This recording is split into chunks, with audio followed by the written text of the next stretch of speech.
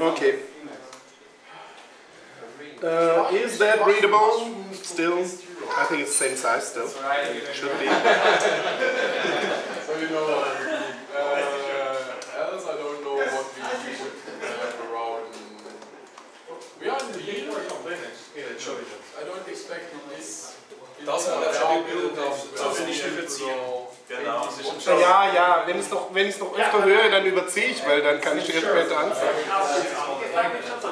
Sehr gut, okay. Leute, wir fangen an. Das Video läuft. We're starting. Okay, I'm starting.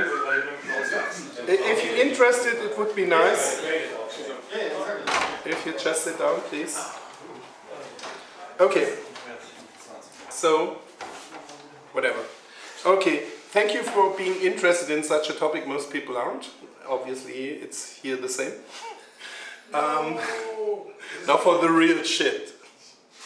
Okay, um, because I delivered that lecture some two or three years, I don't know, I, I forgot, uh, ago here in, in this room even, I think, um, about how to generate code um, it was actually about how using the tool chain and basics and stuff like that. Uh, and because uh, PepSync is 100% uh, generated software, so which I can demonstrate, for example. So you really um, you really can go in and mess up with it and press make and you have a new implementation, probably with a bug. I think. Um, and then you just say um, make. I, I, really can do that. Let, let me find an example quickly um, where I can show you that it actually works. Um, for example, we could do the following. We make here a Go grouped, which is now every device will be grouped, right? And so I just uh, make. And you will actually see that it will make a full stack obviously and uh, probably I should deliver some parameter to make it faster. And then after make install I have an implementation of that now. And if I use my test bench I don't know if I should do that now. Maybe later I can show you that actually is using it. So um, obviously this is a case of generating software, which, which works nicely by the way. For example, our other example, just for features that you see where, where this is going to.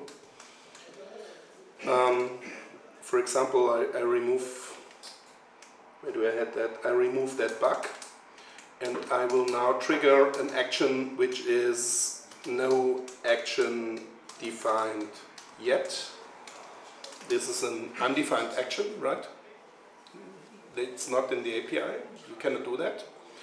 And uh, if I press make, then it will actually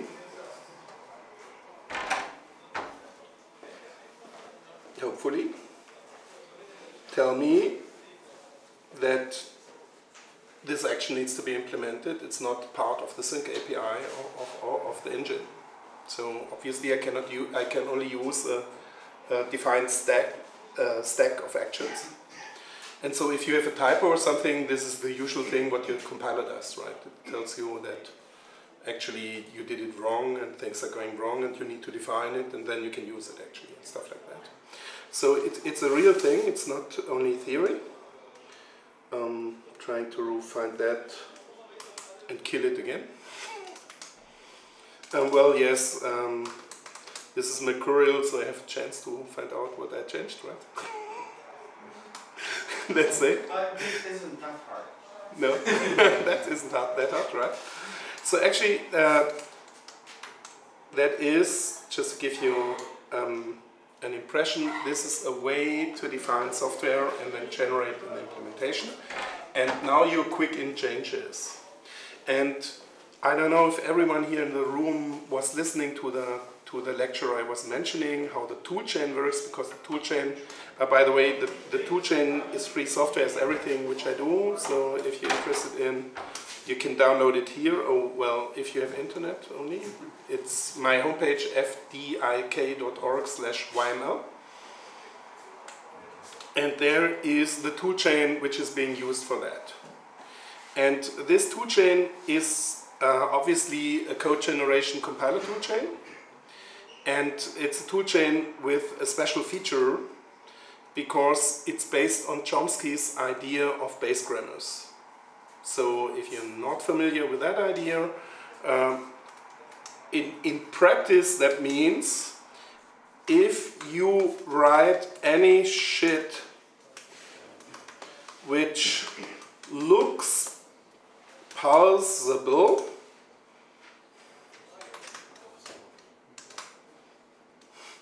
and which is close enough to C, okay? It's a C-like thing.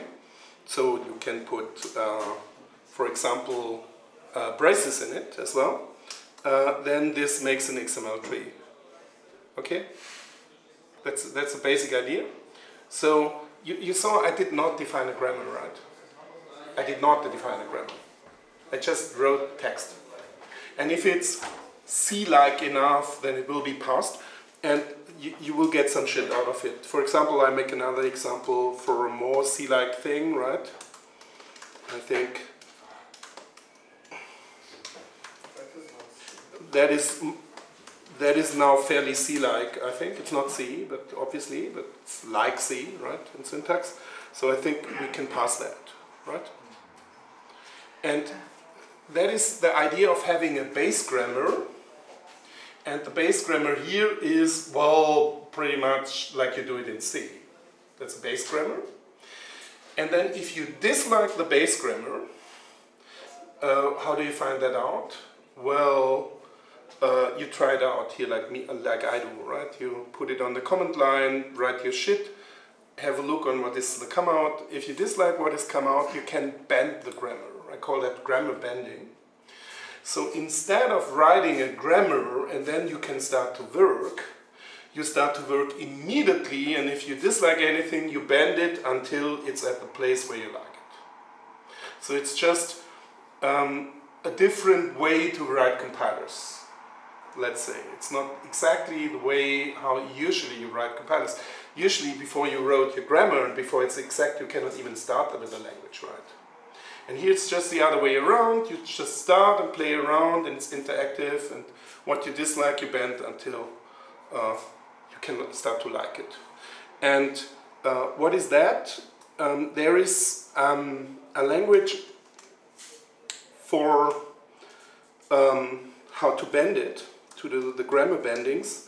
So it's a grammar language, but it's a special one because it's not defining a grammar. It's patching an existing grammar, and I call that grammar patches, what you use to bend the language. Okay? So bending is in language, grammar is being patched to bend the language. That's the speaking. And um,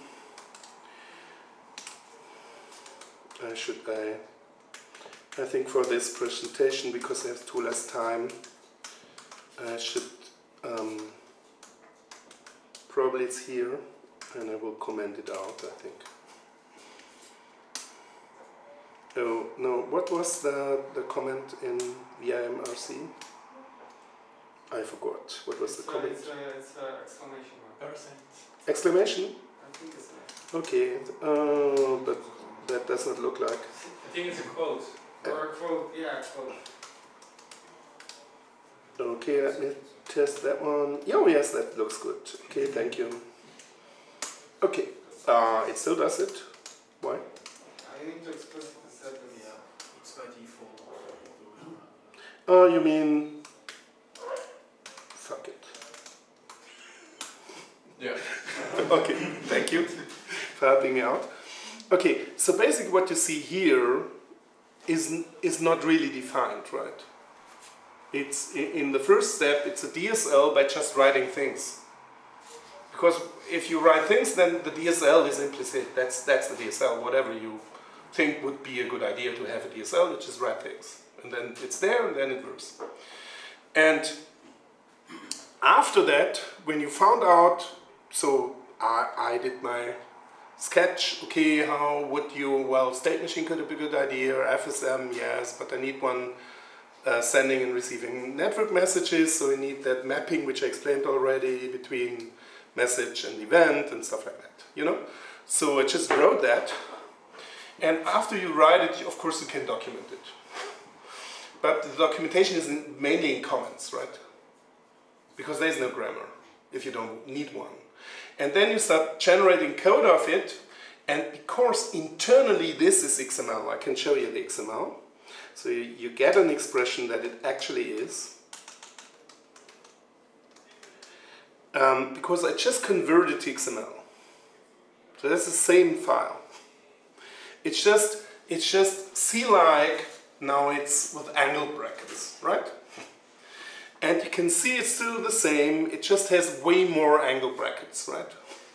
It's basically the protocol and the FSM and the version, and now the condition is really not if but condition, right? And stuff like that. And you can imagine that in the beginning the if was an if here, and I would have liked to express that it's really condition because then uh, if you write the generator, you can say if there is a condition, then do the following, right? So that's more beautiful. So I use the grammar bending here, right? To just replace if by condition, for example. That's how it works. And, but that was last time already. So um, this include file here is defining what I call a Y language. A Y language is grammar patches which map from the base grammar to the real grammar of your DSL. And that's it.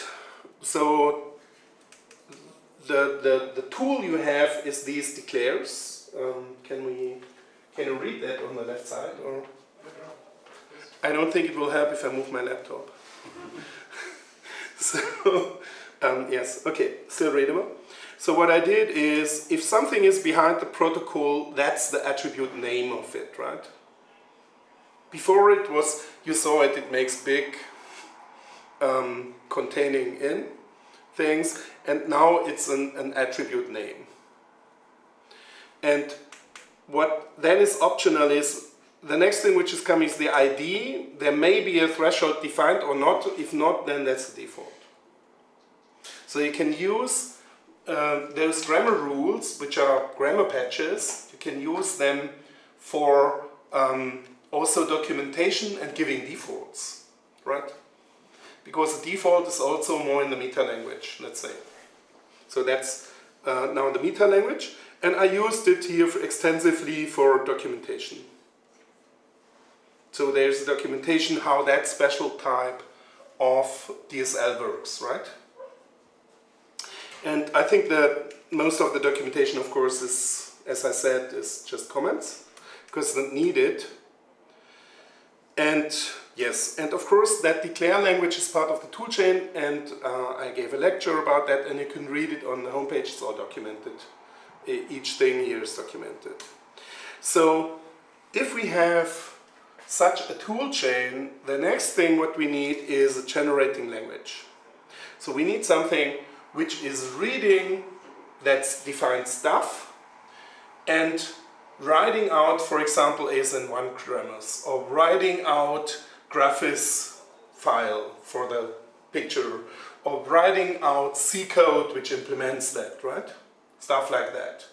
And so um, part of this toolchain is also a template language, which is what I call YSLT. And there's a very reason for it because it's nearly XSLT just in C grammar. And actually there's a Y language for it and it actually is XSLT. Just no one wants to use XSLT because if, if you ever have used it or tried it, it's a big fuck up. It's full of angle brackets which are not easy to type and you will not love it. And the next fuck up which it has is that they are mixing white space for the code indentation and white space which is being output. And that's really crazy if you generate code. so um, that's how my toolchain started. I wanted something which is, well, replacing XSLT. I ended up with having XSLT as my bytecode in the interpreter, right? So I generate XSLT, which is then um, generating the code. So uh, funnily, this is basically generating code, which is generating code, which is generating code, right? And it's often, it's not only three, sometimes it's even six steps. So that makes it fairly complex, let's say. but if things are getting complex by combining them, as usual, they are all simplistic in pieces, right? That's the Unix principle, so that gave the idea here. So what I'm doing, I show you the um, I show you the, the YSLT definition and you will find out that this language has a definition which is 101 lines of code. So with defining 101 lines, I added the features XSLT is missing and map it in a syntax where you want where you start to want to use it. That's basically the idea. So you see, uh, of course I'm generating that. So it's really generating the generator with which you generate the generator which generates the code which then goes through the compiler. Okay? That's a little uncommon, uh, let's say, um, but it's actually a good idea um, just to give you some benchmarks. For example, the full toolchain here has less than 1,500 lines of code because it's generating itself, right? Or it's generating the generators which generates the toolchain. So I just give you the benchmark. I have an idea why so many code generation toolchains are really bad to use. And my idea is if your toolchain has more than a maximum of 5,000 lines of code, I think you don't understand software generation very well, right? Don't you? And that is the problem. So if you common software generation toolchains end up with 200,000 lines of code and more and have less features than this. So I have the idea that software generation is not yet very common, but it's cool and sexy and I would love to have more people using it. And if you then use my toolchain to generate your own and then fuck my toolchain and throw it away, I win. Because then I have you, right? because if you do the better toolchain than me, I love it. So that is, that is basically what I'm trying to achieve, finding people being interested in such a crazy topic, right? It's compiler construction from a totally different viewpoint. Okay, so now for a real world example, which is actually a network stack with Sync, how can you generate that? And there's some things which you need, um, perhaps which we need to talk about first. Um, one thing is there is a clear connection between modeling theory and language theory, and I will name it now. In modeling theory, you have a model and a meta model. In language, you have language and grammar. First theorem, they are just the same shit, right? A grammar is a meta model for the model of the language. And the semantics of the language is actually meta modeled by its syntax. That's tough to take and I will not talk too much about the theory behind it. I just will comment on it that there is some. And if you think about what a grammar does, a grammar is either matching your language and then it's this language, right? Or not. And if you think what a meta model does, it's exactly the same, right? Either your model is fulfilling the meta model or not. And you find it out by trying to match it. So actually, it's even possible to see meta models as grammars of models. And it's a good viewpoint, I can recommend that. So it's basically the same. It's not even that they are analogous, they are identical. It's the same, it's two viewpoints on, on the same thing. A model is a formal description.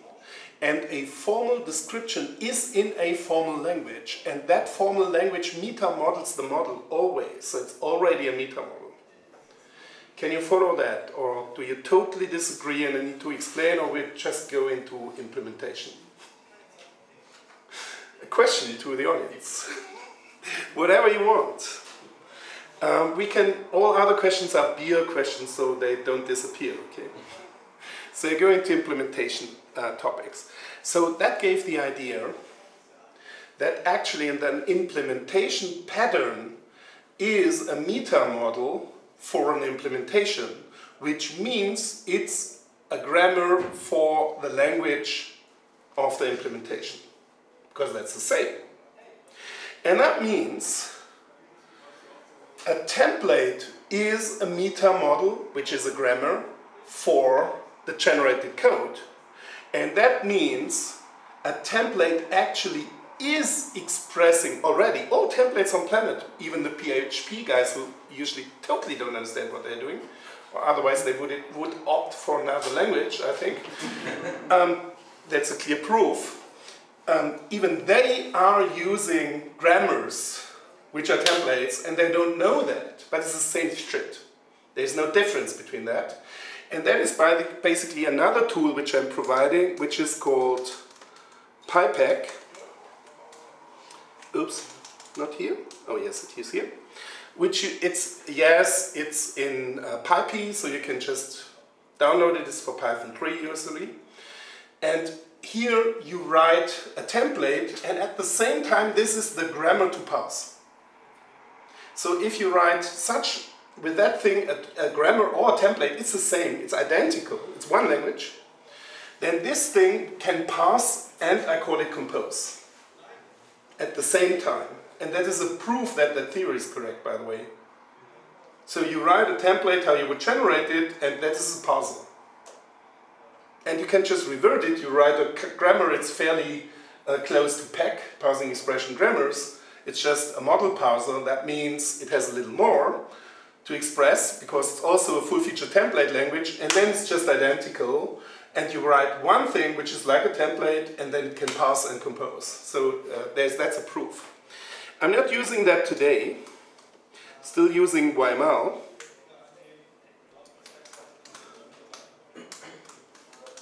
But what I did is, if you have that viewpoint that you're using design patterns as meta model for implementation patterns. Well, yes, that works. Because implementation patterns fulfill design patterns, right? That's why we have them.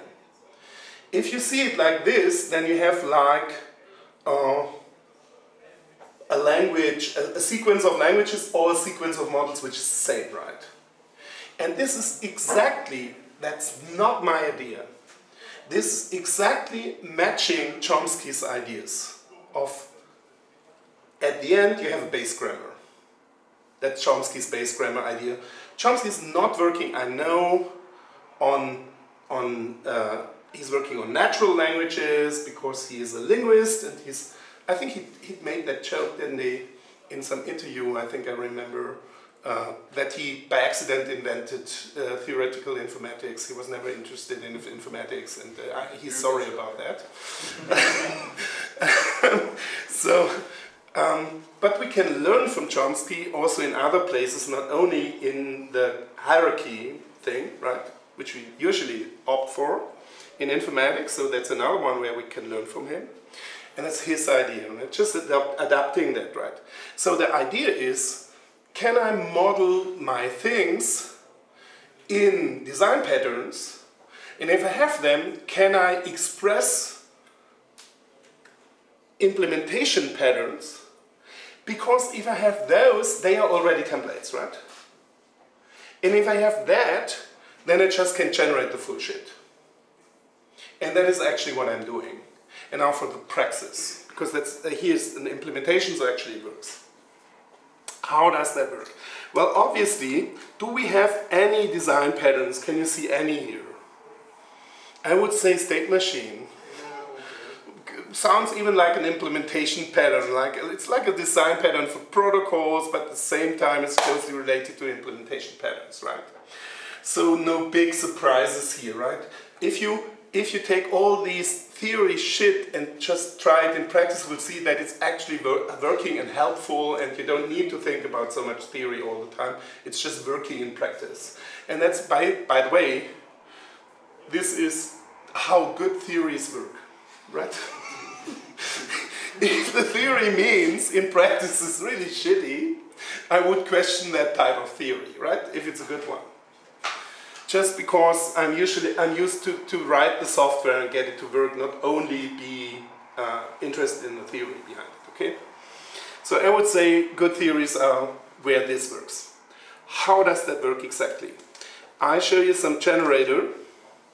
The obvious choice is the state machine itself, because that should be easy one, because if state machine is actually an implementation pattern or a design pattern is already questionable, right?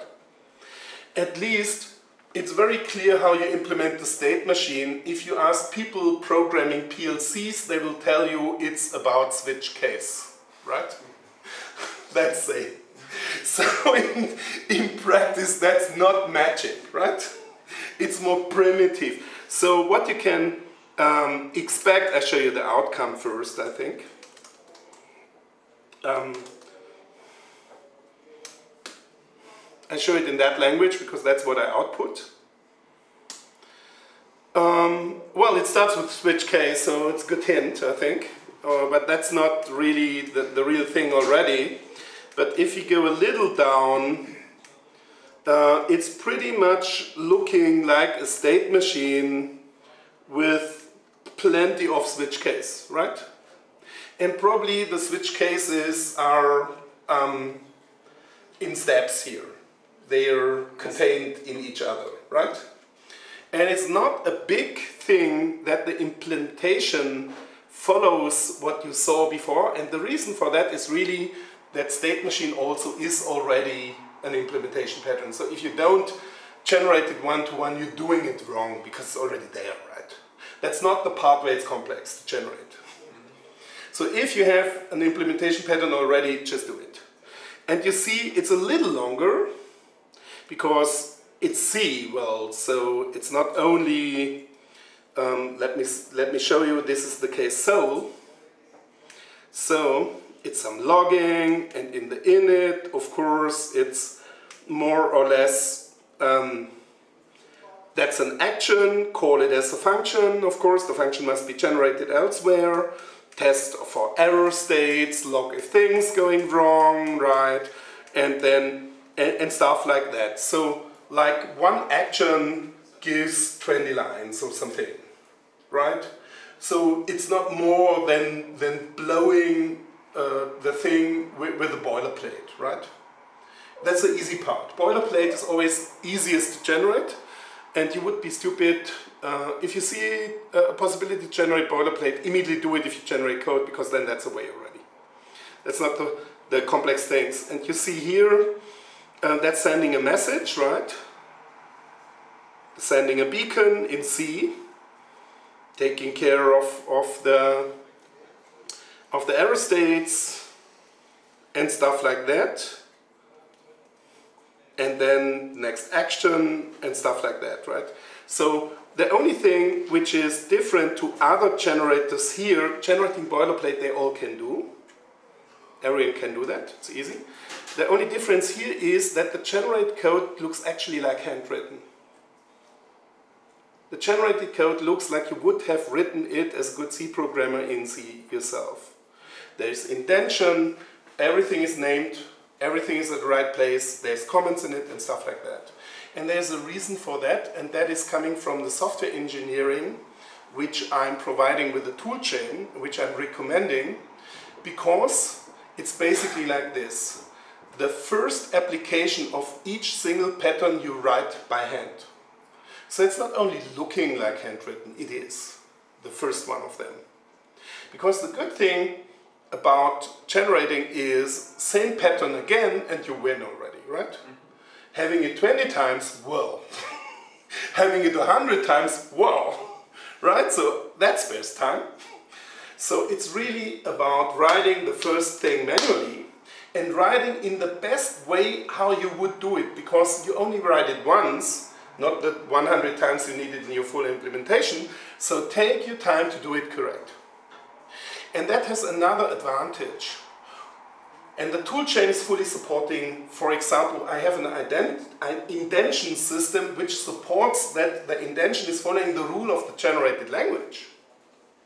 And the reason is whatever you generate will, in practice, land in a debugger and will be debugged by a person who possibly does not understand software generation. For example, everyone who understands C can debug that, gas, that stuff, right? And find the bug. Probably that person cannot fix it in the generator, or you teach the person. It's not too tough. Here it's boilerplate anyway, so it's easy. But they can fix it in C and try out if that was the bug and report it. So you can, for example, qualify bugs by people who don't understand software generation, right? So it's practical. And that is highly important if you lead the software team, if you're a member of a software team, it's highly important that the processes you, you, you are used to to work together in a team are not disrupted, right? It's very important. And that's the first thing. And that's the reason why it's so important that that beast generates code which looks like handwritten. Next thing. How does such a generator look like? It's not generated, so how does it look like? And basically, it, that's an example, it looks like this. Actually, I started inventing operators which usually are not part of your code. Usually, there's exceptions or there's escapes. And for example, the double pipe appears in your code, I bet, if you're writing C code, it's an OR. But usually it does not appear alone in a line, right? Usually not. And especially it does not appear alone in a line at the very first thing as part of the C code, right? That's uncommon in C. Even for C programmers, there are still uncommon things. It's Perl where each expression is correct code, right? It's not C. So, if you start like this, then you kind of switch languages. So what is above it is YSLT, what is below it is actually C. And then I add operators where you can put the template results in, right? And obviously, I should use operators which usually don't appear in programming languages I want to generate, right? And for example, these are operators which usually don't appear. That's a special kind of quote. You may be familiar with it because we're in Switzerland. Um, that's, that's common here in the newspapers, right? I think NZZ does it. so I just opt for any other type of quote which usually, well, we have Unicode guys, I'm so sorry. Um, we have Unicode H's. So I opt for something which usually does not appear in your code because it would just be a syntax error, right? And then you can put in results. So you can make it a template, right? So the name template is not wrong, it's right. It could also be grammar, same. But okay, that's a different story now. Okay, and so what I'm doing here is mainly and you will see it in, in the video of the other lecture. Software engineering means here, you write it manually, you deconstruct it and put the template parameters in. Well, that this could be uh, different from case to case, make it a parameter. And that's how you write templates, right? It's, I'm just explaining how, what you already do in other languages. And so by doing that, you write the compiler. Because you only need to write the backend because the front end is already there, right? So that is basically, it's not magic. Okay? Totally not magic. It's really doable. And I wrote it, uh, in this case, I made, for example, the name of the protocol which is being generated a parameter. Why? Well, key sync is the first, trust sync will be the next, contact sync is coming, schedule sync will come, right? So how will I write the new protocols? I will define the actions they need. I will define the conditions they need to test if they're not already there and part of the API. And if I have them, I write the state machine and say make. Right? So you can concentrate on the state machine, which is a good idea to have. So just to mention it, if you write such a beast once, you, not only can use it for one state machine, you get benefit if it's four or five, right? You get, really get benefit of it. Okay, so that is the basic concept of the generation. Now I'm showing you how the implementation is designed in design, in design and especially implementation patterns, right? How would you design such a thing in a network stack? I show you some, um, I have big letters, so I have not much space. so I, am required to um, do it on, partly on the command line. I cannot only, only open as usual my VIM with the tabs. Sorry for that. So the first thing which I decided to, I'm now going into generated code, show you, and then we look back how that looks like in, in the template, right? So what I would love to have is that I would have conditions and actions which are C functions, obviously, right? That would be beautiful, because then I can call them from C. A condition is something which, differ, which um, delivers a Boolean result, right? Well, that's not too complex, I think. And it should not return it because of the error values, right? C has no structured exception handling. So I think that's given. It's not a big thing. So what I need is a concept that I can send messages, that I can trigger events which are not related to messages, and that I can receive messages and convert them into events, right? That's basically what we need. So what we have is the idea of I can signal an arbitrary event. I can signal that a message arrived, please convert it to an event.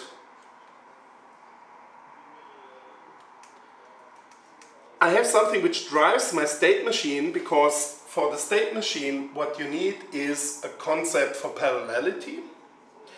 I mentioned it already in, in the lecture before. I want to have a thread where the sync state machine works on, but it should work also in other um, environments. For example, we have PEP for iOS. PEP for iOS is using an operating system named iOS and threads are deprecated there. Apple has a concept which is called Grand Central Dispatch and that means everything is asynchronous and you have jobs. And that should be possible as well, right? So I need something where I can map this implementation either to threads or even to single-threaded. When people usually writing a short Python script want to use PEP, I think it should be single-threaded because that's what Python programmers usually expect, right? And I have the next one, which is Grand Central Dispatch, which is basically job tickets in a completely asynchronous environment. And it must map on all of them. So the idea was, how can we map it to all of them? What would be needed? And that gave the following idea. When you have a state machine, which is based on protocol, uh, on, on, on events and messages, there is two very different types of states which are not marked as being different. The first one, but they exist. The first one is a state where you process things but keep the state. I call that a stable state. And the second, let, let's say, for example, Sole and grouped are stable states. That is something you don't find in the documentation of state machines, but actually if you know how to implement them, you always have them. You can analyze your own protocols, you will see that. The next states are states which are like intermediate states. You get a message, go to that, wait for the next and go out. That's like an intermediate state you have, right? And now for the idea.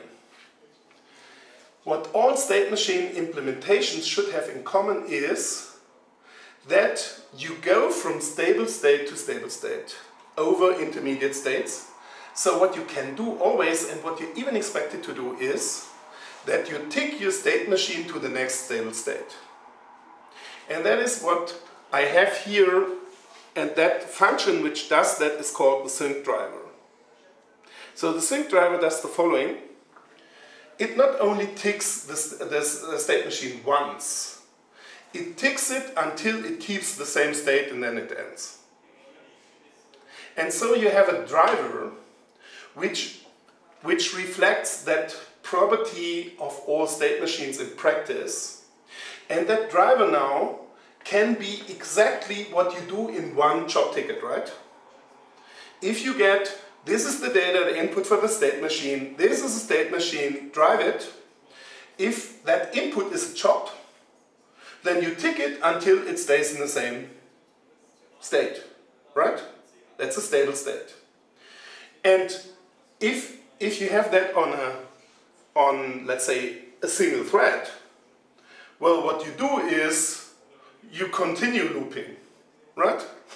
You do that until it ends in an end state. That is what we commonly do on a thread with a state machine. That's simple, right? That's the obvious solution which everyone does anyway and which you find in the books. But now you can do the following. You have, as part of Sync API,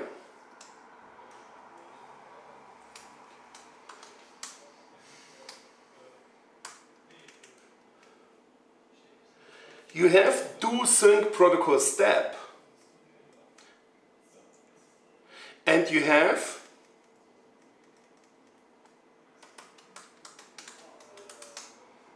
do sync protocol. And if you have a look on the implementation of do sync protocol, guess what it does?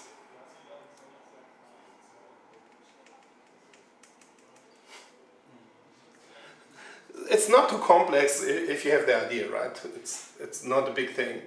So you can use two sync protocol steps for the job tickets, and you can use just a ready-made while loop. It's even there. It's a feature, right? You could write it yourself, but it's complex. It's, I think, uh, 10 lines of code or something. So it's part of the API. So the documentation says if you have a single-threaded implementation, call this. If, if you have an extra thread for sync, call this. If you have a job ticket, call the same with the single-threaded one. Why? Why is that the same? Well, it's the same because you get some input in your single thread and you tick the state machine until it, it's stable, right? It's the same. It's like with job tickets. Just that the job tickets call it asynchronously while this one calls it synchronous, right? That's the only difference, but basically you have one function for these two cases and the second one is even hyperfluid. I know it's, it's a feature being friendly to people who have problems to starting threads, they get a ready-made function for it, right? So they can start a thread it. And it's not complex, you see, it's, it's thinking in, the, in, that is advertising now. Think in patterns. Think in implementation and design patterns. It counts out, believe me. End of ads. That was the ads. Okay, so if you think that and you think through, you have it. So what I have here guess what the sync protocol step does, you will be totally surprised. What it does, it's incredible. Where is it? It will receive a message. What? Is that all? Shouldn't it just call the driver? Well, yes, um, this function is doing that. This function is calling the driver. Why? Because this function is reacting on receiving a message Y. Again, back to the problem of multi-threading and parallelization also with fully um, asynchronous implementations like Grand Central Dispatch is not the only one. What do they have in common again? They have in common that if you send a message and it's received on the other side, it must trigger an event. But if it's running on a different thread, you need to decouple it. So if you have, if you have the, the receiving of the message and you have the processing on different thread, obviously decoupling is being needed, right? Or wrong? Obviously that's the case. So who is, which one is driving the state machine. I would say the receiving end, right? So what you should do when you send out is, or when you receive an event or message, is you should feed a queue in case of parallelization for decoupling, And then you need someone, for example, the thread, sucking at that queue, right? And taking event, now it's events, it's not messages anymore, because message added the event that this type of message with that data arrived, and other events maybe added events as well. They had job tickets like, again, well, job tickets sounds like fully asynchronous. Oh, we could match that. Okay, um, so as a result, you have that decoupling. And what you do if you want to have a single-threaded implementation and map, now you need to map it back, right? Because the default is now having a queue. For single-threaded, that's hyperfluid. We don't need the queue, right? It's only one thread. So how can you map it back? I show you the code. I just go to Python adapter, um, and I show you the code. Let me see. It should be here. I think it's here. Oh, I'm stupid, as usual. Sorry.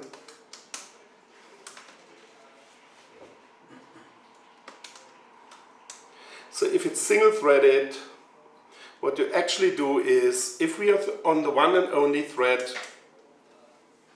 just drive it. Right? Don't feed the queue. You just connect the ends, right? If we are not on the same thread, well, then probably this is multi-threaded. And if it's multi-threaded, fill the queue. And there must be a sucking side. And fun fact, this implementation now has the feature in Python that you decide if you have an extra thread. It will work with the tool. So if you create a thread and run it there, it will automatically put a queue in the middle, right? while, if you if you don't, if you use Python as it's meant to be, one process one, with one thread, right? Well, you don't. It's just working. You can try it out. So basically, now we have the mapping of the parallelization problems. And again, number three, Grand Central Dispatch, which is one of the options where you have job tickets completely asynchronous. Well, it's nearly already working. Guess what you do? You don't drive your own queue, right? They have one already, use it. Then it's tickets, right? So, and that's it. So you see, if you design it like this, you don't have the problem space. You, if, if using implementation patterns and try to map them to each other is also meaning you're avoiding many problems and lines of code, right? Because just to, to do three implementations with different semantics, I think should be, well, should be work, right? And, and this way, because just of thinking about until when do they come together and from when on they, they, they, they diverge, spares you the time. And, and that is why I think it's a good idea to do it like this. Okay. Just to make it clear, also the Python code is generated. The, the Python adapter is also a generated code. Uh, that's very bad message now, not yet. Not It should be. There's actually, there's actually, you know, I have the following problem. I don't have many members in my staff who actually know how code generation works. And so I have the problem to find the balance between we should generate that fuck I don't have someone and well we actually can do it because they all love it by the way. I had I had a very great feature the best one per, probably about my own team. My team is great and uh, I will count on each person there. But there's one thing which especially impressed me I was trying to find people being interested in learning this and usually you get like if, if it's 10 people in the room you can be happy really if, there is 200 people because most people don't care.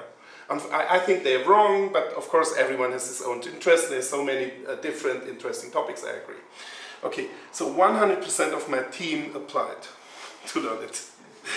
So, so let's say I have the impression that in the future in PEP you find plenty of generated code so uh, next thing what we set up as a project is that we set up uh, generating 100% of the adapters.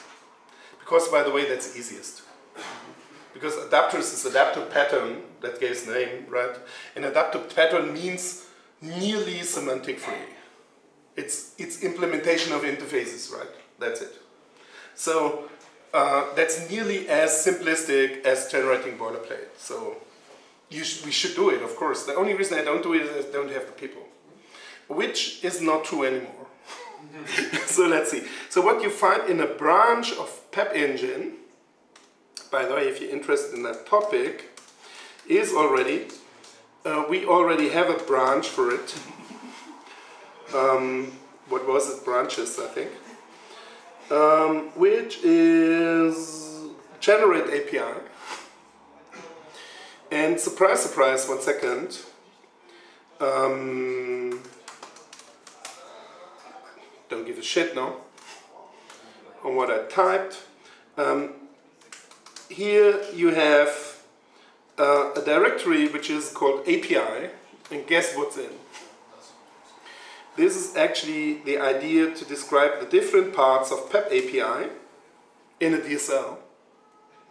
Because today, you know, uh, PEP is being implemented in C, C++, Java, Python, um, Objective-C, uh, what is the name of the other? Swift, in, I, I don't know, I, JavaScript? I, yes, JavaScript, uh, what do we have? That's already implemented, okay? C sharp, yes, correct. So let's say around about 10 langu languages already and it will hopefully be more, right? So you see, that, that, that makes plenty of adapter code, right? Because what we do at PEP is we try to fulfill the usual things which, are, which you are expecting as an application programmer from your environment. So it's not a one-to-one -one mapping, it's mapping into the culture of the language and of the development environment, right? And how can you do that? Well, you generate the code, because otherwise you just be drawn in, you sink and no air anymore, and that's it, only adapters, right? So, so if you do a change, and so that is why we are working on it, and that is, uh, it's not more than a preview yet, actually it's already good, and we're starting to write the generators. And then there's no reason not to generate the adapters, and of course it will be a little better if, if you do the API change here and say make. okay, I think it, it will count out, and we should do it and you will hear about that project in the very first lecture uh, I gave about PEP already, just I never did it. and now it's happening. It's happening. Okay, but let's go back. Okay. Um, no update, um, sync. Okay, I'm going back to the sync branch. The sync branch is, is like testing. This is what will be the new default we are just right before um, release, so this is what is coming now, going to user test, and if we have that, then the stamp there, then it will be the new release. Okay, so what can we do there? What, what, what else do we need? So we have obviously a boilerplated implementation of the state machine. We have the concept of having conditions and actions and uh, a way to call them and check for the error states and stuff like that. So there. Okay, what do we have? We have the concept how to tick the state machine, right? And how to do that in different ways on different types of parallelization concepts on the different operating systems. What else do we need? One of the major things which we need, I'm skipping some parts by the way, just for making it short in time unfortunately. What else do we need is a way to write actions and conditions. Because that needs to be expressed, right? I, I cannot just uh, make a declaration of a condition and expect that it's actually checked, right? That's too much. So I need to at least write some lines of code, what is being checked in what way, right? And usually that is one of the common problems you have by code generation how do I combine handwritten algorithms with generated parts, right? Because this is something I want to express algorithmic or it will not work. And believe me, um, let's say, how do they call it in UML? Action diagrams are not the, the way you want to do it in practice. Otherwise, happy hacking with UML right? Try to use that, what they call an action diagram. How, how was it called uh, in the old days? I think it was uh, a structured diagram, or what was it? No, I'm not talking about sequence. Struktogramm, yes. I don't know the word in English. It, it's really shitty, right? It's, it's way better to write some lines of code and the algorithm is there, right? So we have something, how to combine handwritten code and generated code, because at least the expressing, the boilerplate it can generate, but the, the, the, few lines which express now the condition or the action should be handwritten because otherwise it's more complex and it doesn't help, right? And a common trick to combine them is called inversion. And I will show you that because it's so often that you will need it in practice. So we have here something which is conditions and actions without boilerplate. So it's like tell we are grouped, well, in the buffer of keysync, set the is group flag to true, right? You may remember, I show you the files now, we have those buffers, I show you the files. That's also network implementation. Um, it should be, oh no, wrong directory, that's why it's not there. Um, it should be here. So we have buffers, and that is now the concept of the network implementation. We have an own state which covers things about our own state machine, right? Then we have state we assume our communication partner has, which we learn by the messages coming in. That's the state we assume on the other side. And then we have transport data, which is, for security reasons, maybe important data which is related to the transport we're sitting on, but we want to learn and use for security reasons. Uh, especially, who, whom are we talking to with which key? Right? That could be important for a key synchronization thing. And then we have the buffers. And we have one buffer per protocol because if I start with keysync, I have one protocol, so I have one buffer. And the buffer here is the superset of all fields, right? That's the buffer. And if we go, if you go to sync FSM, so we will see that I'm starting with a beacon, you will see that the fields have decent names. It's not arbitrary. It's really the negotiation and the challenge are two different transactions or transaction IDs, but if it's the negotiation ID, the field always has the same name. So it's not that you have as many names for fields per message. It's that you have the fields per protocol so you can build a superset, right? So you need to, to think about that in the design here of the implementation. So if it's the same thing in, call it the same name so you can have a superset of the buffer, right? And that is how it works. So I'm just reading all the defined messages, reading the superset of the fields, and that gives me my input and output buffer, right? That's how it works. And then I can rely on that, that it's actually there, right?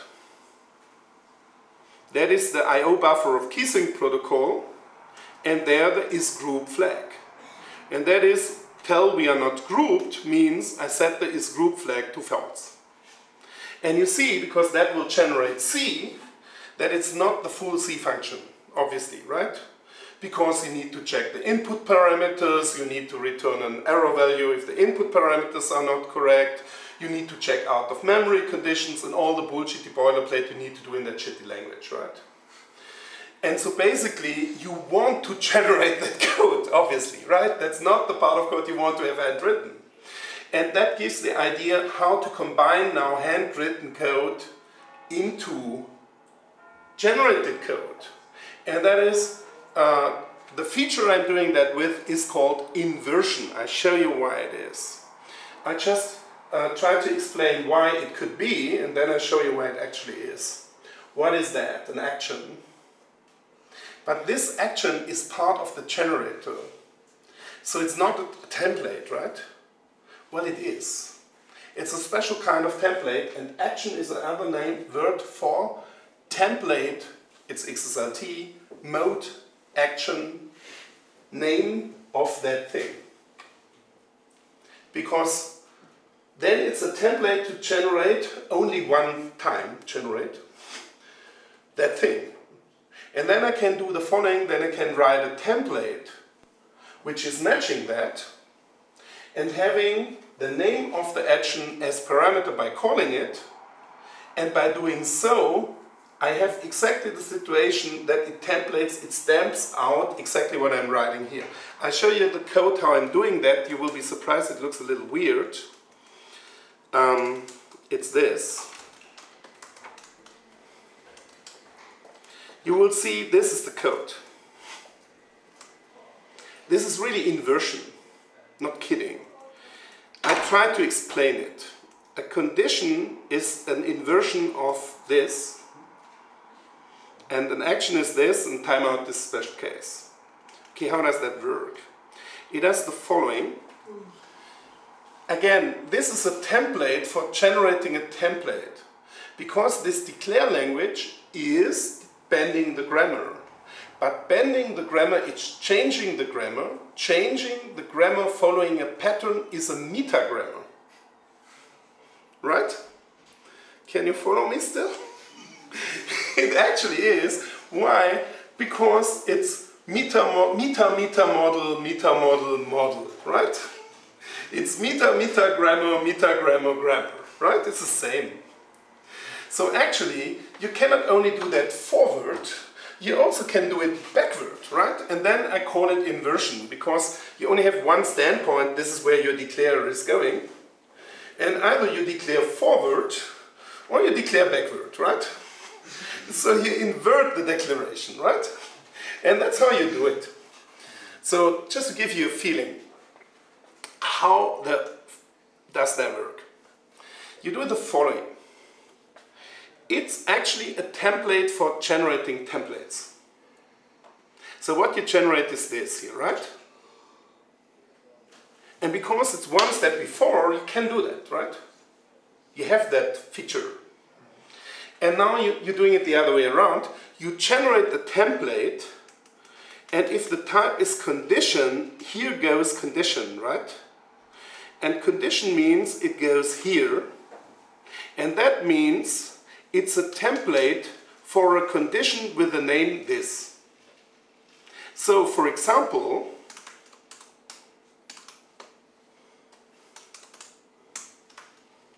if it's this, right, it's about these things here. For example, if it's an action, if it's an action tell we are not grouped, that means it's a template matching an action with that name, right? So actually this will generate one template per case, which is usually not how you use templates, right? But, well, because it's one generator, we do it. We feel free about generating many templates, even if they're only used once each, right? If you don't need to write them by hand, right? So actually you can do that. So this is generating a template which matches an action with a name tell we are not grouped.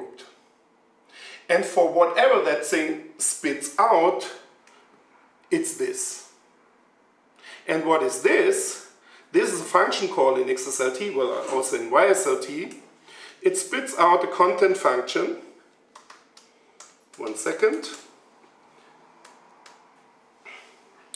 And this is, for example, for conditions. Oh, we had an action, I'm sorry. This is for actions.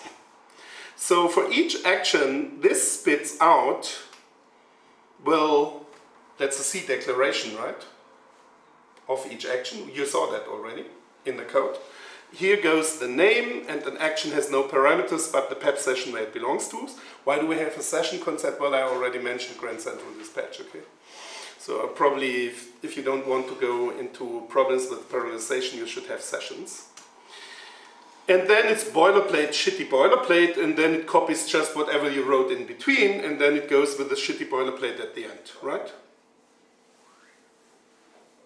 So actually, this thing will generate one template only for that single case, and this template will use that function to generate the template for its content. Because the boilerplate is always the same for all actions, right? So I have it once. It's the same, of course, for conditions. With the condition, well, the boilerplate is different, right? Because you return a result with a condition, obviously it's a boolean, right? And so the boilerplate is checking a little different and, well, it's not complex, right? It's not complex, but you see we are now a little more into the generation part. That's not only boilerplate, right? It's generating a generator which calls a function for generating the generator which then generates the function. Or for being lazy. but actually you are very lazy if you do that. Believe me, I am. Sometimes it's a little tough to find out how to be as lazy as possible, I agree, but that may be. But um, yes, but it counts out because then it's, it's a couple of lines of code, right? Just the idea you need the inversion ID that you now can write just something which then is being generated into a template and then applied, right? And it's even better because that matches so closely the idea of YSLT and XSLT that you get the error messages for free. I'll show you.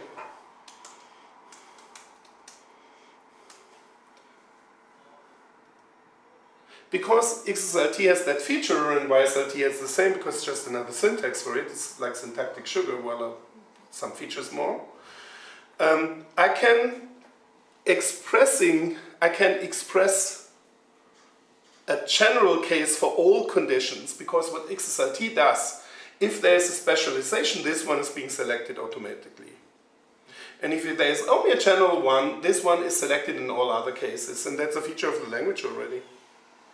So what I do is, if one template instance is coming out of the template mint, it's called.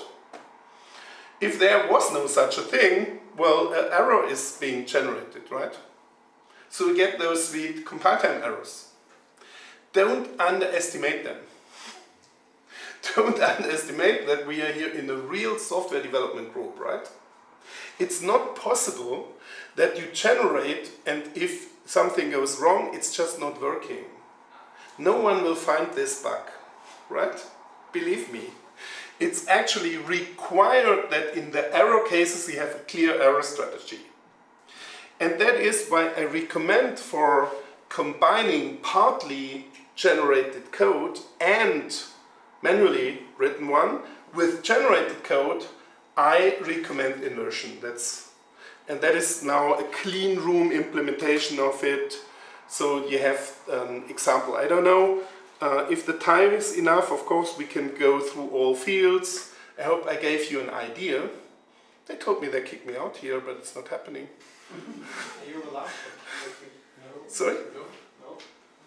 No. How are we in time? break after this. So It's one hour, eight minutes. Okay, I, I have a good feeling for the time this day. Okay, I still had no beer, I think that's why. Um, uh, something we should, it's an error condition, right? Which we should change, I think. Um, didn't you mention beer? But uh, that Yeah, but later. I'm waiting until you. Okay, cool. So, I take that as a promise this time. Okay, so I think one hour was meant to be, right?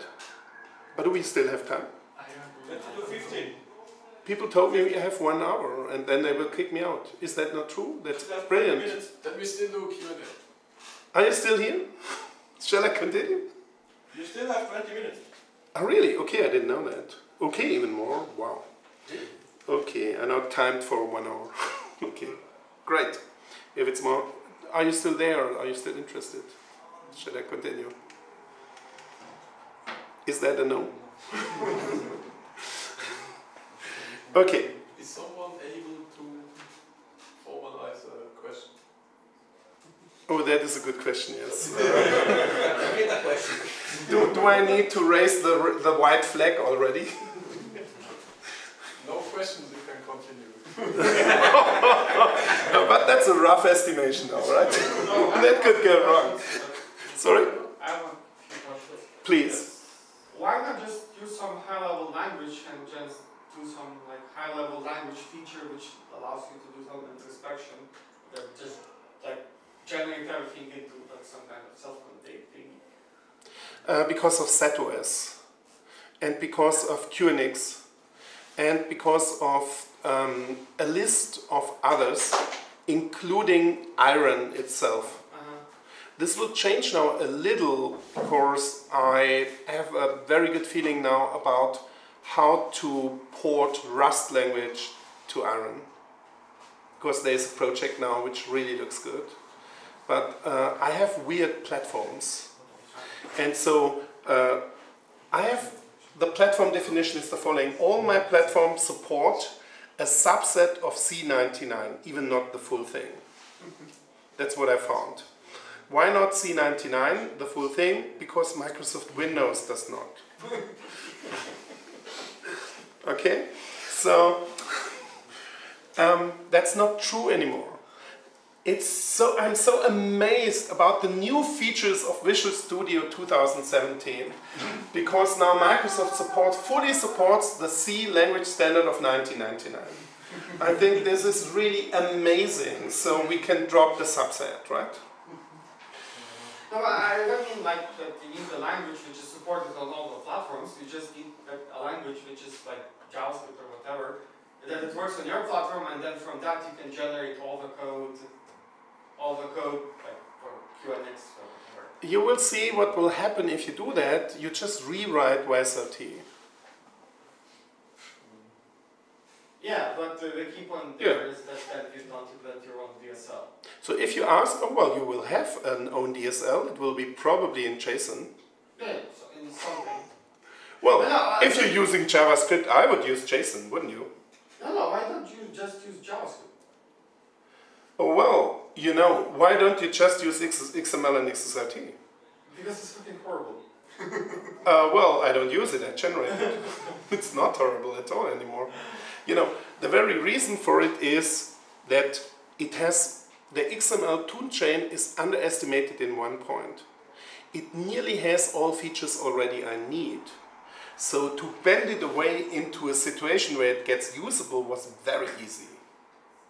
So I would say instead of writing, let's say, roughly 8,000 lines of JavaScript, I write round about, I don't know, two, 1,200 lines of Python. That's the result, because the implementation is in Python. And then use the X- XML toolchain because it's already there. It's like I import what XML can do, I import like a library, right? And I have it. And of course, you can use some JSON library which nearly does the same. It's not that you cannot do it in No, JavaScript. no, my question was Totally not. Just like Possible. instead of DSL, just using some language as a DSL. You know- you know- the key point. You have an internal DSL if you have a fully reflected language, and you are required to use an external DSL if your la- language doesn't have that. It's not more complex. So if you have Ruby or JavaScript, I would say in Ruby you want to have a DSL, and in JavaScript you can. If you don't understand the difference, try it out and see which language is beautiful and which one is ugly in reflection. So you, but you can. If you have a language like C, which I have as target language, you cannot. It's not possible. In C, you just would be required to implement Lisp, an old saying by the way, and then you have a fully reflected language, right? just write a small Lisp interp- interpreter and it works. But if you don't do that, if it's really just plain C, it's not possible. So if you have languages which you generate which are uh, not fully reflective, then you need an external DSL. And now you can decide. You, for example, can opt, that's a possibility, I fully with you, you can opt to write your toolchain in JavaScript. Possible. There's no reason why it should not work. You also could do it in Python like I do and import the XML toolchain so I don't write everything. That's a, that's a decision, right? What you do. Well, I opted for the second one because XSLT has so many features uh, which are already needed and I don't to implement them myself. That's the real reason behind it. Probably today you find JavaScript libraries, if you combine them, you come close to that, right? That's the answer. No special reason for it. Well, the XML toolchain has some advantages if it's going to software proofs. Because XSLT is a pure functional languages, language and pure functional languages are very easy to prove. So if you want to have software proofs which are based on patterns, I would say if you want to repeat that feature, which that toolchain has, you should um, define a pure functional subset of JavaScript, which is possible. Okay? And you need to stick with that then for the generators. And then probably that does not fit into your libraries anymore. And then we are in a region where... No, I'm kind of a guy who like, the less feature of a language supports go better it is. Sorry? I mean, I'm not really used to or anything. No, it's okay. I'm just answering your question Yeah. or trying to, to deal with it, right? So uh, that was one advantage I saw that, that XSLT is pure functional because from the beginning I wanted to go into software proof.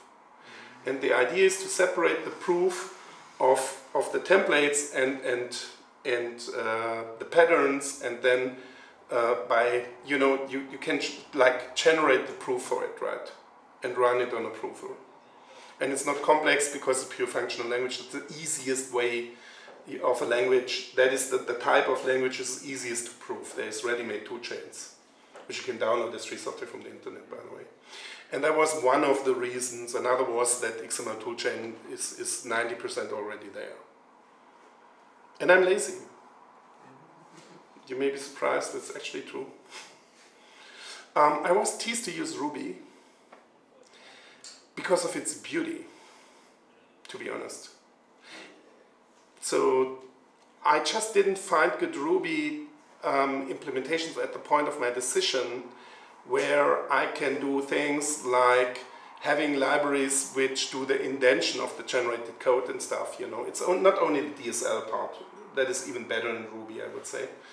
But, but that the output part is, is more weak because in Ruby usually you do it for Ruby, right? You don't do it for generating external things, which is still possible. And I'm pretty sure I could have used Ruby in, instead of Python without problems by just importing some XML library and doing the same stuff. And then it ended up with my then software team when I invented that shit, which was around about 2007. Uh, I was the only Ruby programmer there, and they were all using Python. And then I adapted. That's how I found to Python, by the way. And I found Python so ugly, really, so ugly. And today I find it so practical. really changed. so that really changed. But is there a very good reason?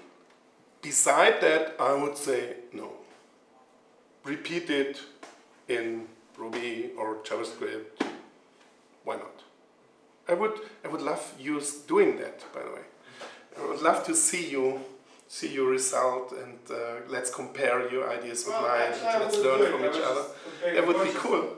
What I would do, however, is, I mean, if I need to support a shitload of uh, platforms, Yeah.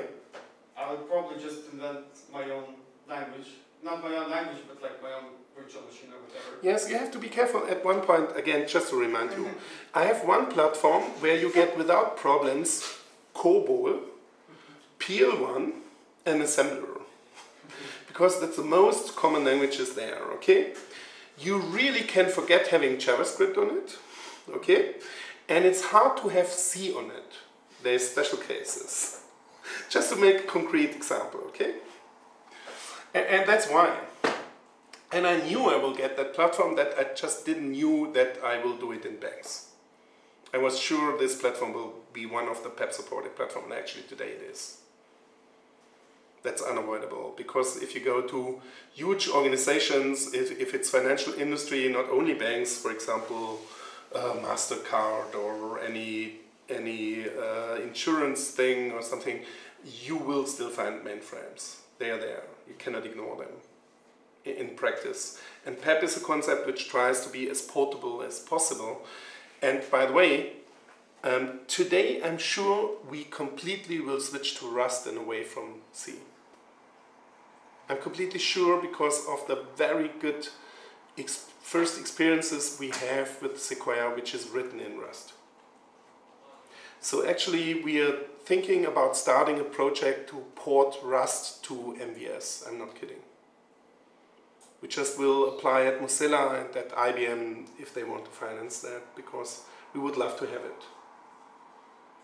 So if you ask me what I see in the future, I will try to, talk, to drop C. Well, I'm doing that. I think since when I'm doing C, I think it's uh, 87. I think then I started to try to leave it again. so you see me not very successful yet at that point. And then I found something even way worse than C, which is called C++. It's if C is nightmare, then C++ is hell, I would define. That's, that makes the plus plus, that's why the plus plus. And I immediately opted for leaving that again. I'm still doing it. Most adapters in PEP are in C++, so you see me not very successful at leaving that as well. And there's reasons for it, it's just what I have, right? And what is running on the platforms. And, and if I get some beauty like Rust on all platforms, I immediately kick the two of them. And it's really looking good. It's really looking good. Rust is really something I would say this can work on all platforms, and for sure it's a language. Um, there's there's a small list of languages you may love, but Rust is one of them. I would say. It's really practical, and what I see from the Sequoia code is just great.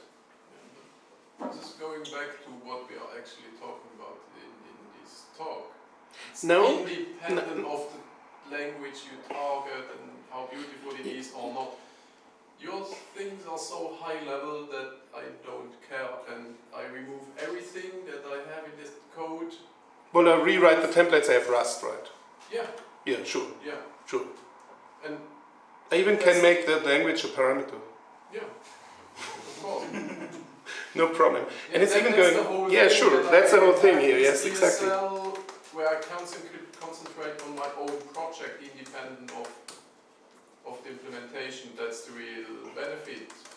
I Well, not generate hardware code for FPGAs on the other hand, and your tool chain is fully adoptable for that, no problem. Yes. Can focus on my problem, and you mentioned a really important word in my, uh, my opinion, provability.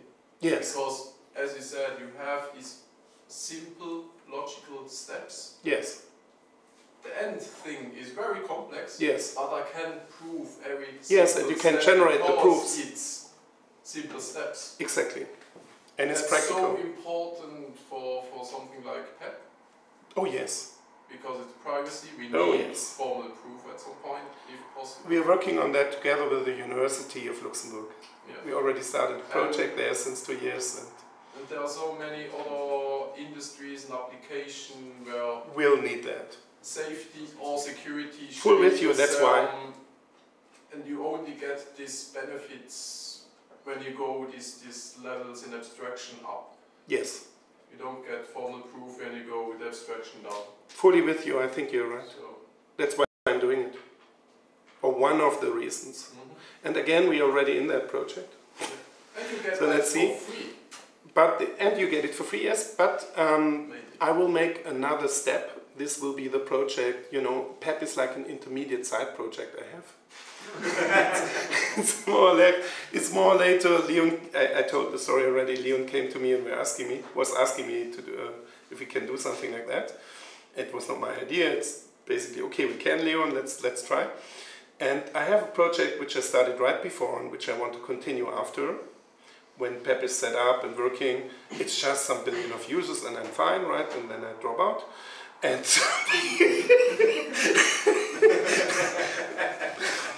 hopefully. Okay, and uh, what I really want to do is I designed a language which is based on these concepts, on which is completely round tripped in all cases. So what you see here is I mentioned it that pyPEG already is parser and composer with the same grammar, or template is the same. Again, it's, it's no difference anymore. YSLT is not yet. YSLT still has a direction and I need inversion if I want to do it the other way around, right? That's what I just explained. With the language named intrinsic, which I have in mind, which I did all proof of concepts that it's actually possible and working like I have it in mind. The proof of concepts are done, but the implementation is, is started and I never had time for it anymore because of that small side project here in here. Um, that thing then is a language with that paradigm. And inversion is implicit. So you can just write the both ways. And you just can write the proof in it. I can show that one. But I only can show it as definition. Well, I don't think so. I think I need more time for PEP. Unfortunately, there's more, some small steps still until we have the billions of users, right? It's not yet ready done. It's looking good now. You find me fairly optimistic, but let's see. Um, but after that, I want to do that because it's really needed. I'm, I'm totally with you. It's, and I think I know how it works. You know that feeling if you know, if you think, well, I think, proof of concepts. it's not, I don't have an implementation to test it, okay? That's two different things. Careful, I, I know that, but, but I think I know how it works. And, and this will, uh, by the way, solve more problems. For example, I think I can completely solve the parallelization problem. And we all know now there's a proof that it's un unsolvable, right? And I think the proof is right and I can solve it. Because the proof has a precondition. And the precondition of that proof, if you have a look at the paper, is that they argue inside one language. But I have a stack of languages and meta languages. And I just go upstairs and go downstairs and have a parallel implementation, and that's just not covered by the disproof. So I think I can solve the parallelization problem. I think I can solve the problem to move code into hardware. If you, if you have that view on code, you can have the view like this. We all have that already, I think. This is uh, a dynamic implementation. This is a static implementation. This is a static implementation in place.